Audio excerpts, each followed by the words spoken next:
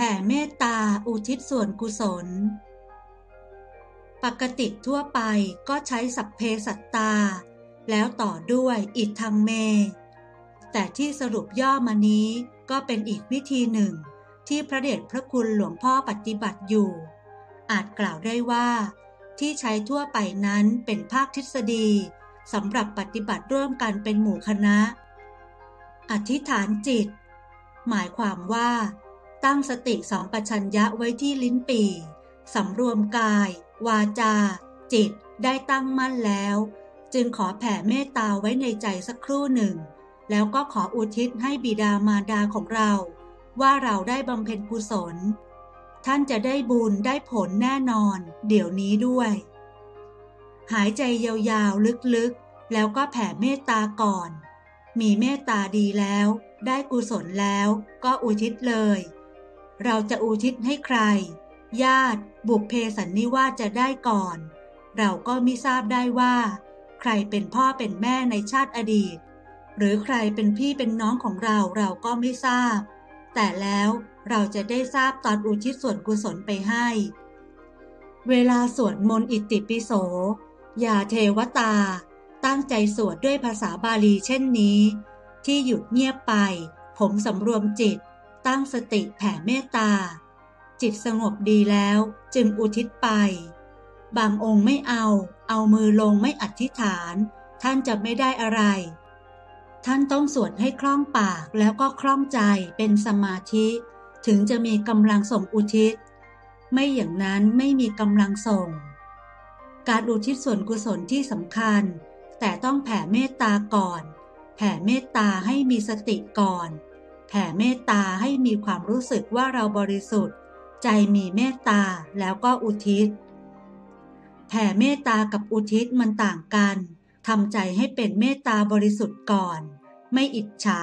ไม่ริษยา ไม่ผูกพยาบาทใครไว้ในใจทำใจให้แจ่มใสทำใจให้สบาย คือเมตตา แล้วเราจะอุทิศให้ใครก็บอกกันไป มันจะมีพลังสูง สามารถจะอุทิศให้คุณพ่อคุณแม่ของเราที่กำลังป่วยไข้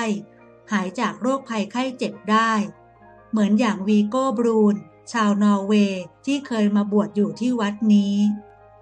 เวลาเราสวดมนต์ตั้งแต่โยโสภัควาอารหัง โปรดตั้งใจ เพ่งกระแสจิตไปที่พระปฏิมา แทนองค์สมเด็จพระสัมมาสัมพุทธเจ้า ด้วยจิตเป็นสมาธิ เมื่อจบแล้วก็นั่งสมาธิสำรวมจิตภาวนา หลับเนตรร่ายเวทพระคาถา ภาวนาอุทิศ เรียกว่าแผ่เมตตา หายใจยาวๆ ตั้งกัลยาณจิตไว้ที่ลิ้นปี่ ไม่ใช่พูดส่งเดชนะ ที่ลิ้นปี่เป็นการแผ่เมตตา จะอุทิศก็ยกจากลิ้นปี่สู่หน้าผาก เรียกว่า อุณาโลมปัจชายเต ณอยู่หัวสามตัวอย่าละณอยู่ที่ไหนตามเอามาให้ได้ และอุทิศทันทีจะถึงตามที่ปรารถนาณตัวนี้สำคัญณ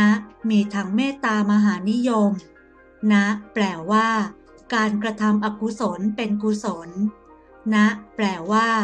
ทำศัตรูให้เป็นมิตร สร้างชีวิตในธรรม แล้วอุทิศส่วนกุศลไป ท่านทำได้หรือยัง อุทิศตรงไหนทำใจตรงไหน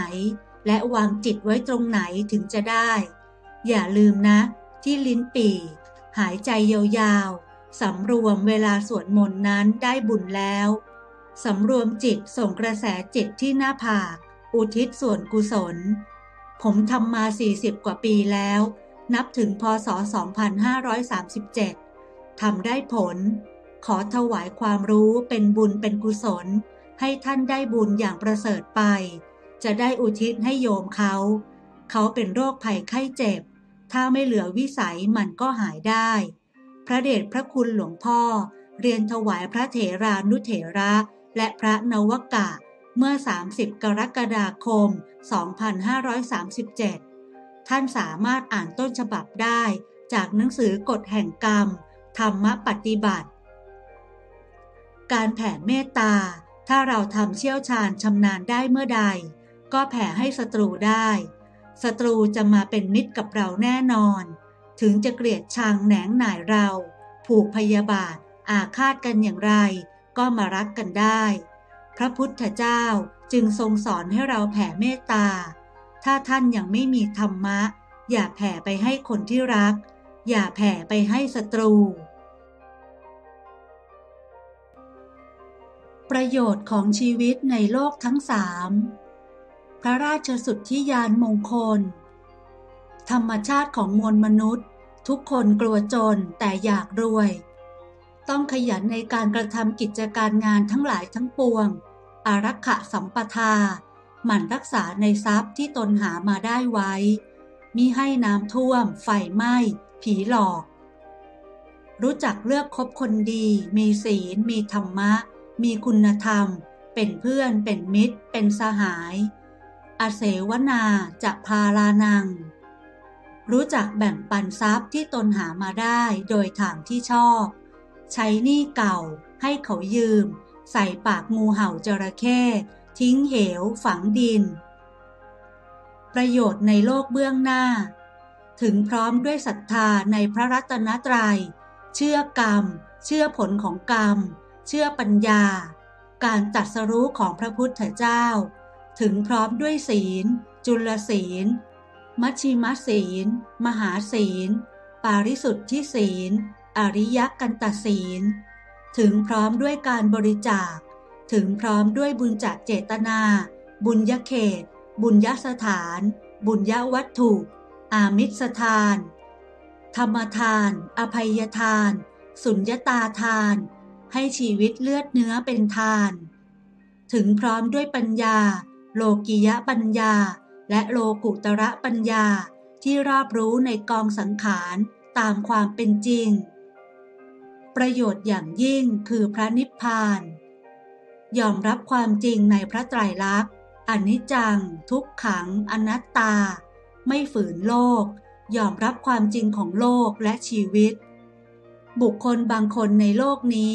เห็นแต่ประโยชน์โลกนี้ไม่เห็นประโยชน์โลกหน้า และพระนิพพาน มีตาข้างเดียว บุคคลบางคนในโลกนี้เห็นประโยชน์ถึงโลกหน้าด้วย มีตาสองข้าง บุคคลบางคนในโลกนี้เห็นประโยชน์อย่างยิ่ง คือมรรคผล นิพพานด้วย มีตาสามข้าง บุคคลบางคนในโลกนี้ไม่เห็นประโยชน์ในโลกทั้งสาม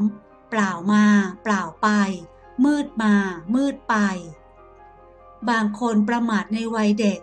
บางคนประมาทในวัยหนุ่มสาว บางคนประมาทในวัยแก่เท่าชรา บางคนไม่ประมาทในวัยทั้งสามบางคนประมาทในวัยทั้งสามมืดมา สว่างไป มืดมา มืดไป สว่างมา สว่างไป สว่างมา มืดไป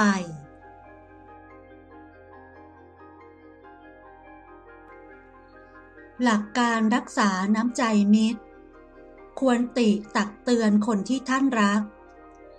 รวบรวมโดย พระราชสุทธิยานมงคล วัดอัมพวัน จังหวัดสิงห์บุรี